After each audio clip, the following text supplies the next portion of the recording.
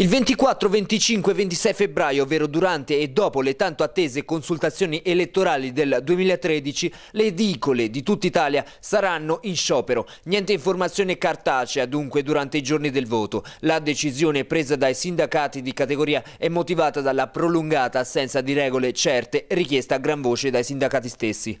Con la carta stampata in crisi anche le edicole accusano il colpo. Per i sindacati circa 30.000 persone rischiano il posto. La decisione arriva dopo giorni di protesta inascoltata dalla classe politica e soprattutto dalla mancata riforma dell'editoria, promessa da diversi governi e mai realizzata.